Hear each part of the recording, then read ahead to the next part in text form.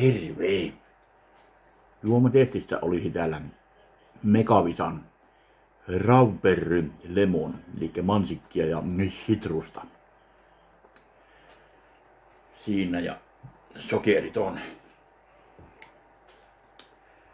No.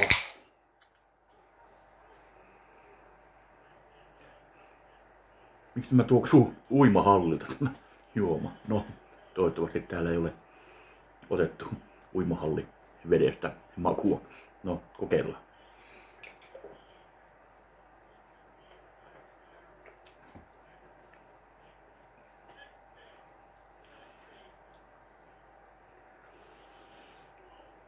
Voisin melkein sanoa, että niin maistuisi varmaan paremmalta uimahalliveden juonti altaasta.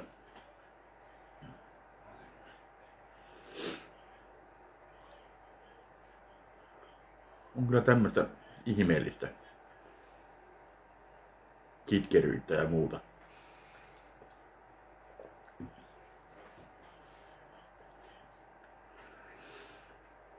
Tämä oli ehkä vielä pahempi kuin toi toinen megavisa näistä uusista.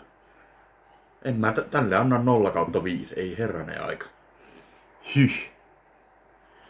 Noi, olkahan ihmisiksi. Se on morjes.